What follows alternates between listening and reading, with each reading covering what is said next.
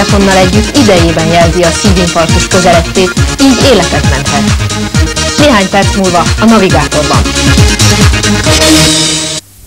Városnyi ember hal meg szív- és érrendszeri betegségek következtében. A legtöbb esetben, például infarktus következtében a halál hirtelen jön, amire a segítség megérkezik már késő. Ez a gyufás doboz méretű eszköz egy magyar orvosok által kifejlesztett EKG, amely egy mobiltelefonnal együtt életet menthet. Rosszul lét, mentő, újraélesztés. Így zajlik le egy szívroham. Évente 30 ezer ilyen esettel találkoznak a magyar orvosok. Az infarktusos betegeknek nagy része megmenthető lenne, ha időben felismernék a szívritmus zavarokat vagy a szívrohamot. Ám eddig nem állt az orvosok rendelkezésére olyan készülék, amely ezt állandóan figyelni tudná. Ez a gyufásdoboz méretű mobil berendezés világviszonylatban egyedülálló. A fejlesztés dr. Kor Sándor kardiológus munkája. A hagyományos EKG az néhány másodpercig kerül felvételre, a hagyományos Holter 24 vagy 48 óráig, a mi esetünkben a szívvelső napokig, hetekig, hónapokig tudja regisztrálni az EKG-t.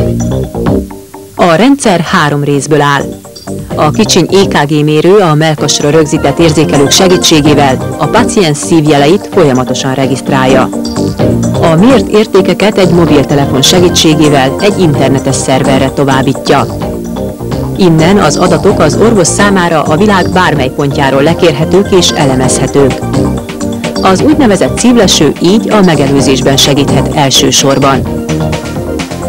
Számos olyan beteget vagy számos olyan veszélyeztetett egyént lehetne kiszűrni a szívritmus elemzése alapján, melyre a hagyományos diagnosztikai EKG eszközök nem adnak lehetőséget.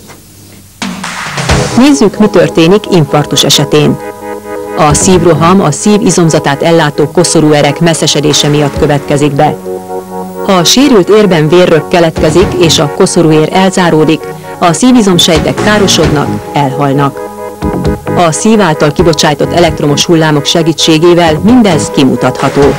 Szakértők szerint azonban ezek előre is jelzik a bajt. A rendszer a beteg szívműködését háromféleképpen figyeli. Ez az ábra mutatja a pulzust. Ez pedig az EKG hullámot, ami a szív elektromos működését méri. A harmadik az EKG görbe alapján kirajzolódó úgynevezett Provenker ponthalmaz. Ez jelzi azt, hogy a regisztrált állapotban a beteget fenyegeti-e szívinfarktus. Ha az adott pontokból egy üstökös alakzat kezd kirajzolódni, akkor a szívműködés rendben van. Ha azonban a ponthalmaz gömb alakú, akkor arra lehet következtetni, hogy a szívben elváltozás fog fellépni, tehát szívroham fenyeget.